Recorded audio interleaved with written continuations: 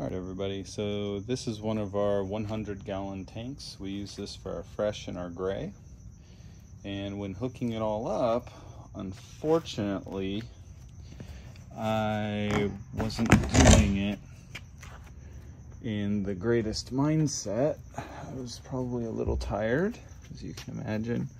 And unfortunately, the drill bit, when it went in moved down about a quarter of an inch and you can see right there it's too low. And it also has a little bite mark down here out of the bottom. So unfortunately for us uh, this tank is just not usable. Now I'm sure somebody could take a piece and plastic weld it over this and make this tank usable. So I have just gone ahead and purchased another tank for the meanwhile. And so I don't really want to store a tank and I don't really like selling things that are damaged or, you know, just in not good condition. So this is a literally brand new tank. I'm selling it for about free 50.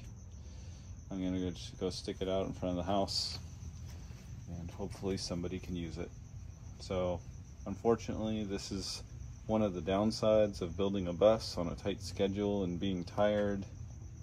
Unfortunately, like I said, I just I did not notice when that hole saw when the original uh, like pilot drill bit, it must have walked about a quarter of an inch, and a quarter of an inch makes or breaks it. So hopefully this guy goes to a good home. Somebody will probably use it for pressure washer or something like that.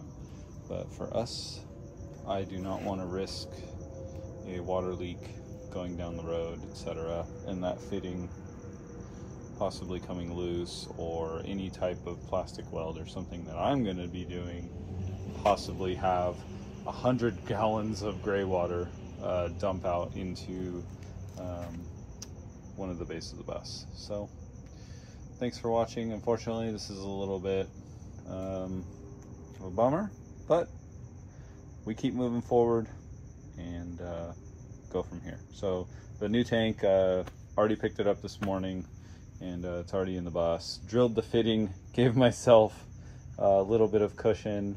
And unfortunately, that doesn't mean we're gonna be able to drain the tank all the way down to the bottom. We'll probably have about a half an inch of water um, but I think, you know, when we go to store it, we can just leave the valve open, etc. A half an inch of water ain't gonna kill us. So thanks for watching everybody and uh,